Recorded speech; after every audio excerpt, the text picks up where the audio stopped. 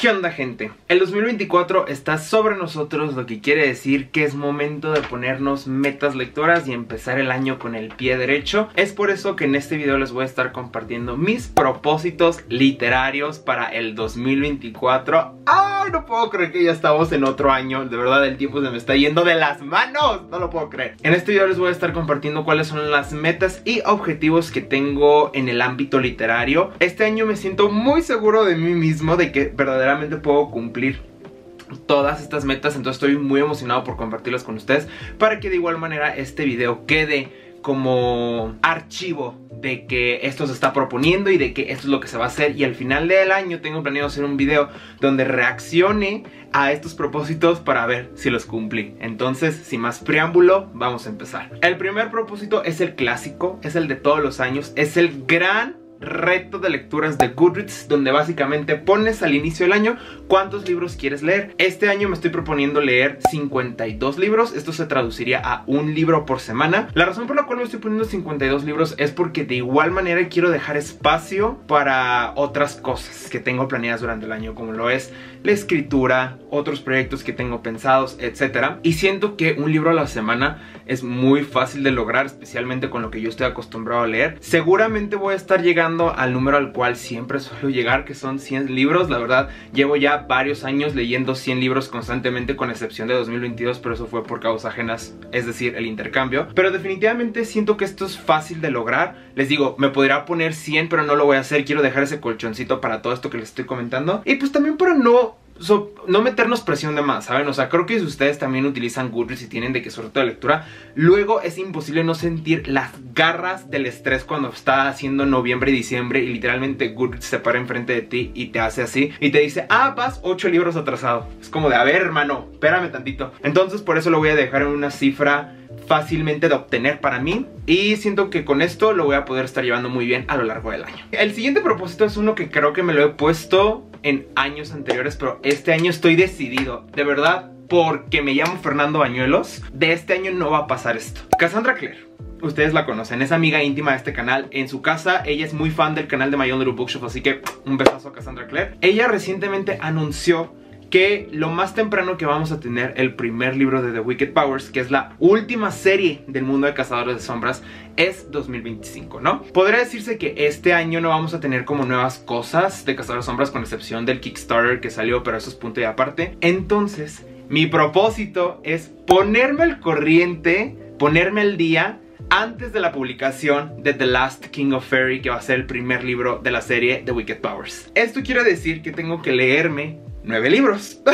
y estos nueve libros son Lady Midnight, Lord of Shadows, Queen of Darkness, que estos tres conforman la trilogía de Los Artificios Oscuros. Ghosts of the Shadow Market, esta es la tercera colección de historias cortas que es la única que me hace falta leer. Chain of Gold, Chain of Iron, Chain of Thorns, que estos son la trilogía de Las Últimas Horas. Esta también es una de las precuelas de la serie y es la secuela directa de los Infernal Devices, los orígenes. The Red Scrolls of Magic y también The Lost Book of the White, que estos son los primeros dos libros en la trilogía de The Eldest Curses, las maldiciones antiguas creo que está en español, que son eh, la trilogía Malek y estos son los dos libros que están a la venta actualmente. Este último es de hecho el único que me hace falta de comprar para tenerlos todos. Y pues sí, este tal vez es el objetivo, bueno, uno de los objetivos más ambiciosos de todo este video, dado que como pueden apreciar, Cassandra Clare no escatima al momento de escribir libros y normalmente son libros extremadamente largos. No, o sea, vean esto,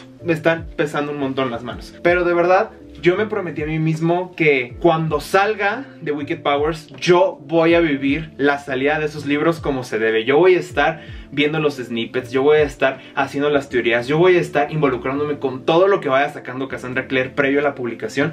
Y de verdad, como es la culminación del mundo de Cazadores de Sombras, siento que me lo debo a mí como hater reformado de los libros de Cassandra Clare. El poder experimentar esos libros con la emoción, de toda la gente que lleva viviendo esta serie, ¿saben? Si llevan tiempo en mi canal, ustedes saben que originalmente cuando yo había empezado a leer la serie Cazadores de Sombras, yo la iba a abandonar. Me había leído cuatro libros de la serie de eh, Los Instrumentos Mortales y me leí dos libros de los orígenes y no estaban siendo mis favoritos y dije ya los voy a abandonar, ya no lo quiero continuar. Pero hace varios años ya también, cuando me propuse el leerme otra vez la serie y me leí todos esos libros y luego acabé eh, Ciudad de las Almas Perdidas y Ciudad del Fuego Celestial y luego también acabé Princesa Mecánica, yo quedé absolutamente enamorado, ¿no? He estado leyendo más de los libros desde ese entonces, ya me leí el de Magnus Bane, me leí el de Simon, entonces ya puedo decir que el mundo de Cassandra es uno de mis mundos favoritos, de verdad. O sea, yo no imagino mi vida como lector sin experimentar las historias de Cassandra Clare. Amo sus personajes, amo su mundo, amo su sistema de magia, de fantasía, absolutamente todo lo que tienen estos libros. Entonces quiero derrotar a la bestia, que es este estrés que tengo de tener todos estos libros en mi librero sin haberlos leído y se los juro, se los prometo que 2024 va a ser el año de Cazadores de Sombras para My Own Little Bookshelf. ¡Qué emoción, qué emoción! El siguiente propósito que tengo, siento que es de los más fáciles y ese es, quiero terminar al menos 5 series que yo ya tengo empezadas. Hace poquito les subí un video de todas las series que he terminado y siento que fácilmente muchísimas otras pudieron haber entrado en este video si yo no las estuviera aplazando. Entonces lo que voy a hacer es, quiero, como les mencioné, completar al menos 5 series ya empezadas. Ojo, aquí no entra el, por ejemplo, si me maratoné una trilogía completa. Esas no las voy a contar porque la estoy empezando y la estoy terminando. Me refiero a que quiero ya leerme la conclusión de la serie. Les doy un ejemplo. Tengo la trilogía de Hija de Muy Hueso desde hace años. El tercer libro, que es Sueños de Dios y Monstruos, lo tengo desde enero de 2015.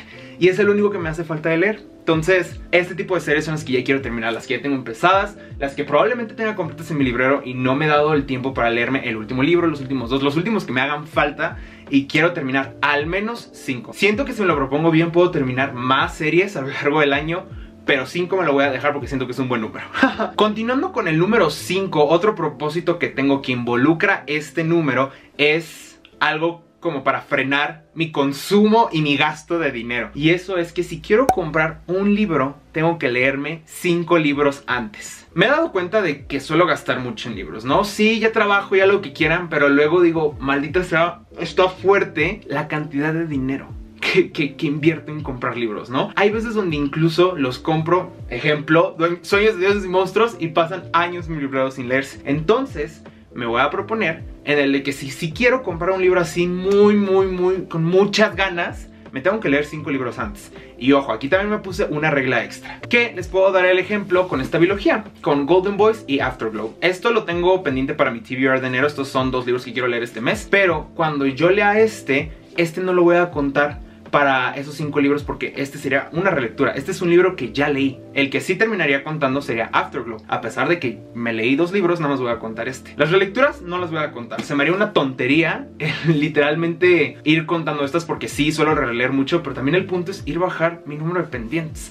Entonces, sí, siento que esto también lo hace más difícil porque como les digo, yo soy muy afán de literalmente agarrarme una trilogía y releérmela en el momento, pero no lo voy a hacer, me voy a enfocar bien y si quiero comprarme algo, pues tengo que leer. Y les puedo decir de una vez que ya estoy pensando qué voy a hacer porque en marzo sale The Prisoner's Throne, que es un nuevo libro de Holly Black, entonces para ese entonces tengo que haber leído 5 libros, puedo haber leído 10 no sé, pero tengo que tener el espacio libre, porque ya hice una lista en mi celular, de los cinco títulos y el libro desbloqueado, ¿saben? Igual, por ejemplo, no quiere decir que a fuerza si leo cinco libros me tengo que comprar un libro. También los puedo ir acumulando, ¿saben? O sea, es básicamente ir desbloqueando estos pequeños espacios de si quiero comprarme un libro, órale, ¿puedes? Solamente si ya me leí los que tengo que leerme para poder tener ese, esa oportunidad, ese premio, dije. Entonces sí, probablemente Esperemos este año no haya tantos book hauls y si hay tantos book hauls espero que los libros que salgan no sean porque yo los compré.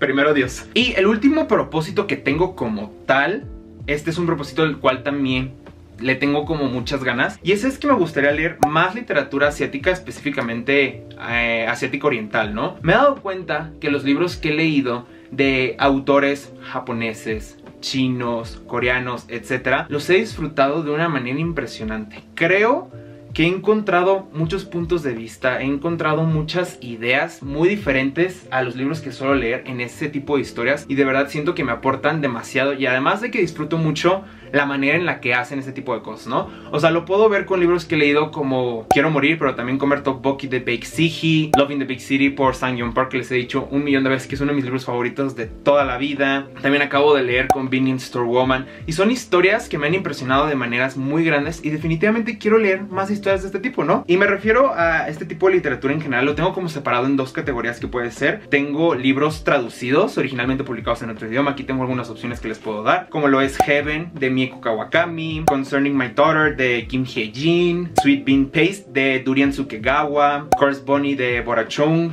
Grandmaster of the Money Cultivation de Mo Tung-xiu. Hay un sinfín de libros que están originalmente publicados en otro idioma, que luego fueron traducidos, por ejemplo, al inglés o al español, que tengo muchas ganas de leer, ¿no? Entonces me quiero enfocar también en, en, el seguir buscando ese tipo de historias, en el seguir dándoles la oportunidad. Y también tengo, por ejemplo, historias escritas por autores con ascendencia asiática que, no sé, pudieron estar originalmente escritas en inglés o lo que sea. Tengo Song of Silver, Flame Like Night de Amelie Wen Xiao. Este es un libro de fantasía que me llama muchísimo la atención. Eh, tengo el The Singing Hill Cycle por Nibo. El primer libro es The Empress of Salt and Fortune. Iron Widow de Shiran J. Shao. es otro libro que tengo un chingo de ganas de leer. The Art of Prophecy de Wesley Chu. Ese libro de hecho lo tengo aquí en mi librero. Eh, Shadow of the Fox de Yuri Kagawa. Es decir, hay tanto de dónde escoger que definitivamente no me quiero cerrar las puertas y quiero seguir experimentando este tipo de historias. Entonces, ese es otro de mis propósitos para este año que siento que también puedo cumplir porque mi wishlist ahorita está infestada de ese tipo de libros y me urge comprarlos todos. Pero ¿qué tengo que hacer? Leer. Entonces,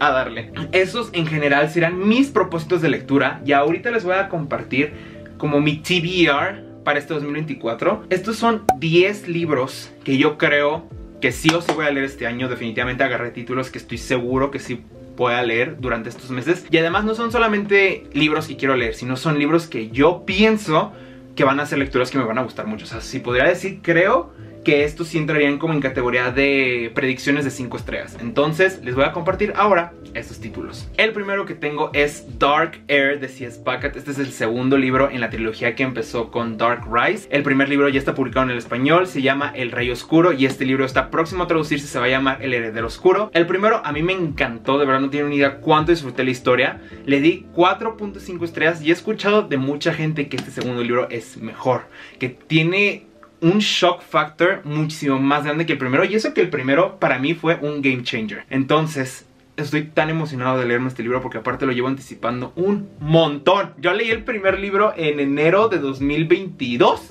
y estamos a 2024 ya, o sea, ya hace dos años yo leí Dark Rise. Entonces, sí, tengo muchas ganas, te lo acabo de conseguir, lo conseguí en la fila de Guadalajara y me emociona mucho leerlo.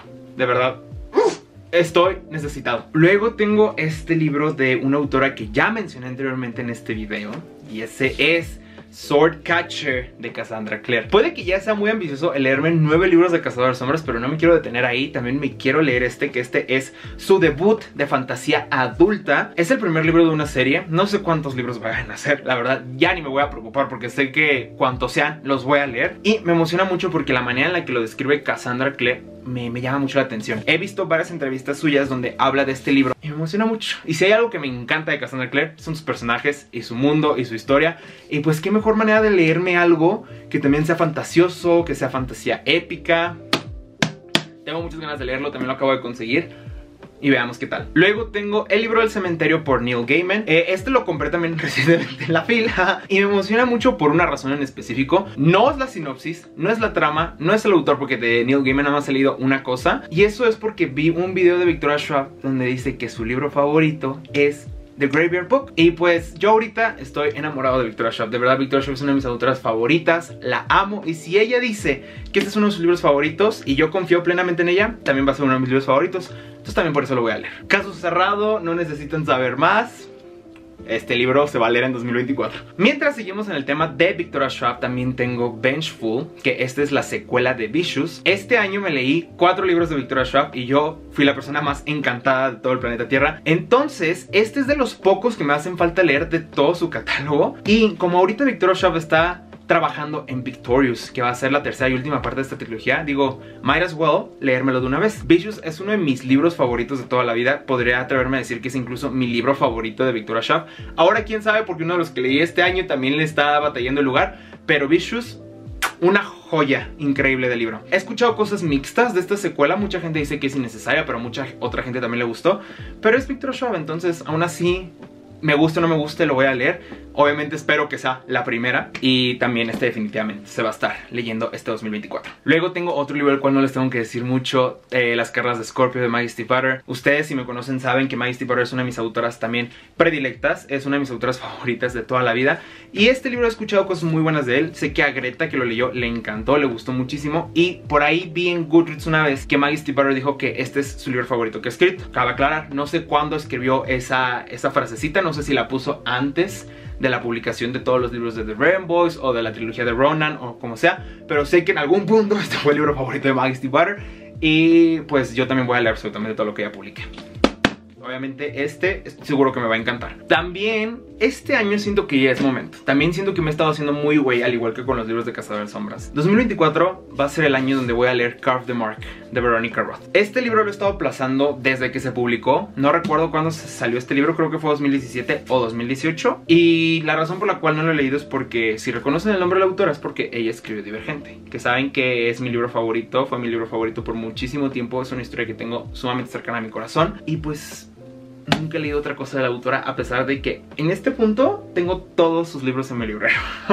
nunca he leído nada más de ella porque me da miedo, ¿saben? O sea, lo que hizo Divergente en mi vida es inexplicable, se los he contado mil veces y aún así me faltan palabras para poder ejemplificar bien por qué quiero tanto esa historia y esos personajes. Entonces, obviamente me da miedo el leer otra cosa de la autora y que no me guste. Pero yo confío ciegamente, con los ojos cerrados, como dijo Gloria Trevi, en Veronica Roth. Entonces, este año voy a leer Craft the Mark. También tengo la secuela de Fates Divide. Tengo Poster Girl, tengo Chosen Ones y también tengo The End and Other Beginnings. O sea, verdad tengo todos los libros de esta mujer y siento que ya es el año. Tal vez se venga un maratón, un mini blog de yo leyendo los otros libros de mi autora favorita para seguir viendo si podría ser mi autora favorita o si nada más fue la excepción a la regla. Pero Craft the Mark se va a leer. Card de Valer. Este siguiente libro lo estoy mostrando casi casi así nada más por mostrarlo porque sé que este libro lo voy a leer este mes. Y ese es Saint de Adrian Young. Desde que Editor Libro no me mandó este título estoy desesperado, desesperado por leerlo. Esta es la precuela de Fable y Medianoche. Son, es una biología de piratas que yo me leí ahorita en septiembre